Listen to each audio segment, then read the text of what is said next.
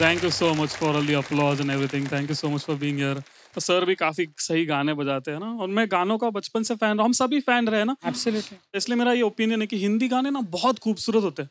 But कभी कभी ना इनके लिरिक्स डबल मीनिंग हो जाते जैसे मैंने वो गाना सुना तुझ में रब दिखता है यारा मैं क्या करूँ? ये क्या सवाल है? आँखों की जाँच कर लो। क्या सवाल है? एक गाना आया था कुछ दिनों पहले तेरे बिना लगता नहीं मेरा जिया तेरे सिवा चले मेरी सासे ना रे ना। अब ये लड़की से बात कर रहा है अस्थमा इनहेलर से? बट यू नो सबसे वियर्ड गाने जो बजते ना सबसे वियर्ड लिरिक्स वाले गाने वो बजते हैं दांडिया के टाइम पे। बट दांडिया मेरा फेवरेट फेस्टिवल है यार। मेरे को बहुत मज़ा आता है दांडिया स्पेशली लड़कों को मज़ा आता है guys give me a chair तुमको अगर दांडिया पसंद है। अपन तो उस टाइम के जनरेशन के है ना अपने टाइम पे डेटिंग ऐप वो सब नहीं था तो दांडिया ही अपना डेटिंग ऐप था। अच्छा। और शेखर जी सबसे बेस्ट पार्ट उसमें ऑटो स्क्रॉल का फीचर है।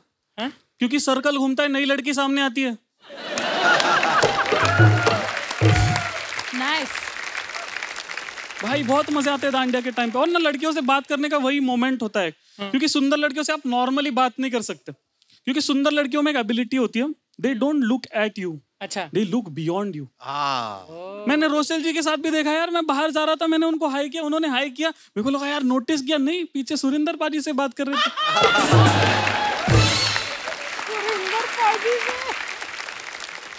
तो मेरी सोसाइटी में भी ऐसी एक लड़की थी यार मेरे को बहुत पसंद थी ना? बहुत सही लड़की थी यार मैंने डिसाइड किया इससे बात करेंगे दांडिया के टाइम पे। तो मैंने क्या किया दांडिया जो होता है वो नीचे की जगह थोड़ी ऊपर के साइड पकड़ लिया। ताकि उसका दांडिया मेरे दांडिया की जगह मेरे हाथ पे लगे और कुछ तो मोमेंट बन जाए।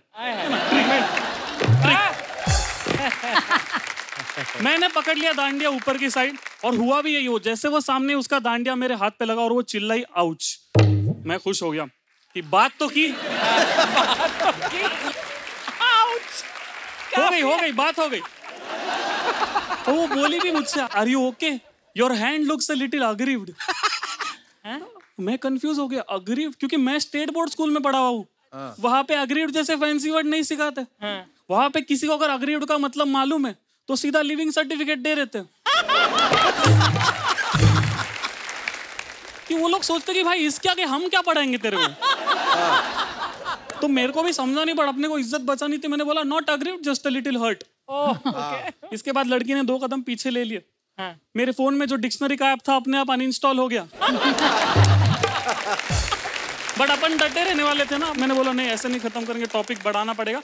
मैंने बोला कि, यार I think I seen you somewhere मैंने तुम्हें कहीं देखा है, तुम भी क्रेसेंडो हाई स्कूल से हो क्या?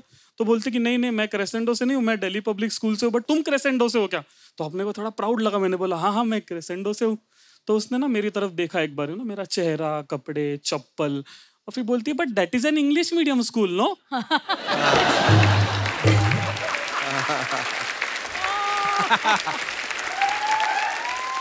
और अपने स्कूल का नाम थोड़ा हाईफाई ना क्रेसेंडो हाई स्कूल तो मेरे रिलेटिव को भी लगता था कि ये क्या हाईफाई स्कूल में जा रहे हो। तो मम्मी को पूछते थे क्रेसेंडो म्हणजे हे काही कॉन्वेंट आहे का अपने घर में सब मराठी मीडियम किसी को मालूम भी नहीं कॉन्वेंट क्या होता है। बट मम्मी डायरेक्ट नहीं नहीं बोल सकती। अभी घर का इमेज है ना। तो मम्मी बोलती थी "अं, असं पूर्ण कॉन्व्हेंट नाही आहे. सेमी कॉन्व्हेंट म्हणू शकता.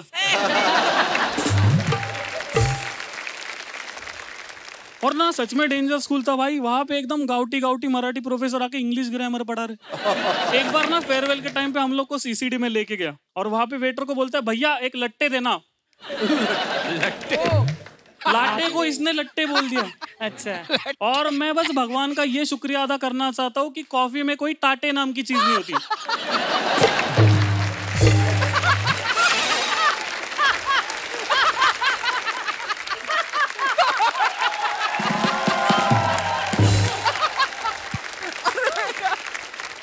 स्टेट बोर्ड वालों का सीन क्या था ना लड़कियाँ भी नहीं मिलती। और पहले टाइम पे तो फिर भी मिलती थी वो ना पच्चीस के बाद और भी मुश्किल हो जाता है यार गर्लफ्रेंड वर्लफ्रेंड मिलना। क्योंकि सर वज़न बढ़ जाता है यार। पहले जो तुम्हारा ग्रोथ था ना वो पूरा वाई एक्सिस पे होता था। पच्चीस के बाद एक्स एक्सिस पे होने लगता है।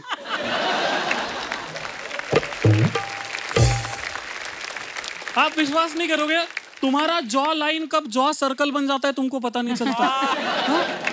तुम्हारे चिन के नीचे एक दूसरा चिन आ जाता है जिसको बोलते हैं डबल चिन क्योंकि एक चिन से तो अब तुम्हारे चेहरे का वज़न संभाला नहीं जा रहा। अच्छा।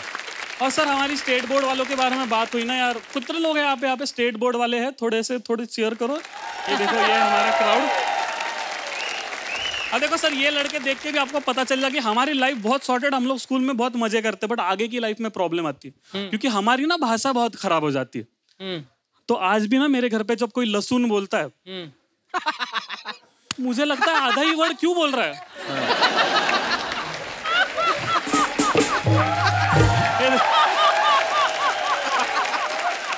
इसका फ़र्स्ट हाफ़ किधर है? Oh God. देखो मैं कुछ मैं देख रहा हूँ कुछ लोगों को समझा नहीं है बुरा मत फील करना। इसका मतलब ये कि आपकी परवरिश अच्छी है। पर यही था यार thank you so much guys यार बहुत मस्त तुम लोग।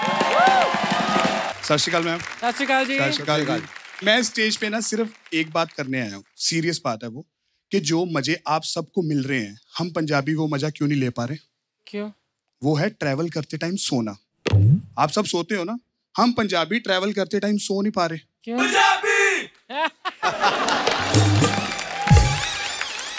इसकी वजह से। बस इसकी वजह से। क्योंकि हमारे साथ वाली सीट पे जो बंदा बैठा ना हमें देख के वो बंदा बंदा रहता ही नहीं है। हैं? वो बन जाती है मज़े लेने वाली मशीन सारी दुनिया एक्सक्यूज मी सर मिस्टर ना हमारे लिए एक ही वर्ड बना है वो है पाजी। पाजी। अब यहाँ देख लो मनप्रीत पाजी सुरेंद्र पाजी अर्चना पाजी सॉरी अर्चना पाजी चलेगा चलेगा। मैं खड़ा हूँ मेरे डैडी खड़े मैं पाजी मेरे डैडी भी पाजी। मैं बस में बैठा हूँ साथ वाली सीट में मशीन चालू हो चुकी है। पाजी। पाजी। पाजी कहाँ कहाँ से? मैं कहा अमृतसर से। वाह कुलचे बड़े सही मिलते हैं आपके वहाँ हाँ। आप तो कुलचे खाते होंगे। आपके तो घर में बनते होंगे। मैं कहा हाँ ये बात तूने सही की है। कुलचा हमारा जीवन मरण है। हम बीमार हो डॉक्टर के पास जाए डॉक्टर पर्ची पे दवाई थोड़ी लिखता है। कुलचा लिख देता है। हमारा सगा दादा आईसीयू में मर रहा उन्हें जाके पूछे पापा जी आखिरी इच्छा बच्चे पहुँचे कुलचा खवा दे। सारी दुनिया को पता नहीं क्यों लगता है हम पंजाबियों के घरों में तीन तरह की बातें होती पहला खाने की दूसरा पीने की तीसरा खाने पीने की। हम बहुत बहुत हैवी नाश्ता कर रहे हैं यार। आपके घर में बनते चीज़ के परांठे? नहीं। हमारे घर में बनते हर चीज़ के परांठे। हमारा नाश्ता देखा यार हमने परांठे बनाए पूरी दुनिया में भेज दी उसकी रेसिपी सुनो। हाँ। उसमें है सौ ग्राम आटा साढ़े चार सौ ग्राम आलू आधा किलो दही पाइया मक्खन। हाय और हाय। ये नाश्ता करवा के हमें निकाल देते हैं। समझ ही नहीं आ रही क्या हो क्या माए हैवी नाश्ता करा के बच्चों को स्कूल भेज रही है। लास्ट बेंच पे बच्चा बैठा है टीचर कह रही कमलप्रीत खड़े हो जाओ। पीछे देख के कह रहा है कौन मैं? क्योंकि यहाँ तक है आटा। यहाँ आलू। दिमाग का दही हुआ पड़ा सारा। मैं देसी स्कूल वाला गाँव से। और मेरे चेहरे पे कॉन्फिडेंस नहीं है क्योंकि आजकल के बच्चों को मिल रहा है भर भर के कॉन्फिडेंस देखा आपने? स्कूल में बच्चों को लेके जा रहे हैं पेरेंट टीचर मीटिंग में। माँ बाप को बिठाया बच्चे को कॉन्फिडेंस दे रहे टीचर ये भाई साहब सीए बनेगा। इसकी तैयारी अभी एलकेजी में है वो। हमारी नहीं होती थी मीटिंगे हमारे होते थे स्यापे। जब मेरे को किसी ने पीटा है जब मैंने किसी को पीटा है जब हम दोनों ने मिलके मास्टर को पीटा है। फिर बुलाते माँ बाप आओ जरा स्कूल में। मास्टर कह रहा देख लो अपने बच्चों की करतूतें। और हमारे डैडी के पास एक ही डायलॉग इसको जैसे चलाना है चलाओ। ये लो मेरी बेल्ट। अरे एक चीज़ मेरे को आज तक समझ नहीं आई कि सीखना कहाँ से है। हम घर में कोई गलती करे घर वाले कह रहे तेरे स्कूल वाले तेरे को अकल नहीं सिखाते। हम स्कूल में कोई गलती करे स्कूल वाले कह रहे तेरे घर वाले अकल नहीं सिखाते? और ये दिक्कत तब भाई जब मैंने पहली बार नकल मारी। आप में से मारी? Rachel? You know what is नकल? चीटिंग खड़ी आपने कभी? हाँ। ये मेरी कनाडा वाली अंग्रेज़ी है। कन्नेडा कन, नहीं हमारा कनाडा। चीटिंग करी आपने कभी चीटिंग हाँ। सुंदर लड़कियों का पता ही नहीं लगता। इनके चक्कर में ना दस पंद्रह लौंडे जो है ना वो फेल हो रहे हैं। बाबा इसको पास करवाना हमारा तो अगले साल भी चल जाएगा। नकल मारने के लिए सबसे इंपॉर्टेंट चीज़ होती है किस्मत। अच्छा कि जो जुगाड़ खाना आप घर से लेके गए हो छोटा छोटा करा के वो पेपरों में आता कि नहीं आता? मेरा सौ नंबर का पेपर पाँच हज़ार पर्चियाँ मेरे पास। मेरे को समझ ही नहीं आ रही करना क्या मेरा दिल मेरे दिमाग को कह रहा है लिखना ज़रूरी है काट के चेपी लगा दे।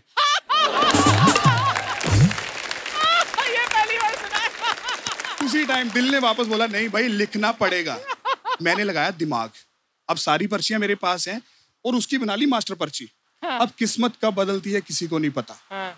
दस मिनट बाद फ्लाइंग आ गई। उन्होंने मेरी तलाशी ली। मेरी मास्टर पर्ची पकड़ी गई। मेरे को डेस्क पे खड़ा किया। तेरे ये हिमायूं का मकबरा निकाल दो लेफ़्ट जराब से बाहर।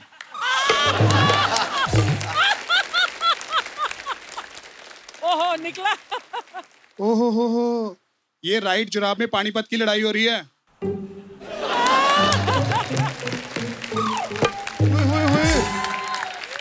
ओए, कच्चे चूही ईस्ट इंडिया कंपनी बाहर काट दे।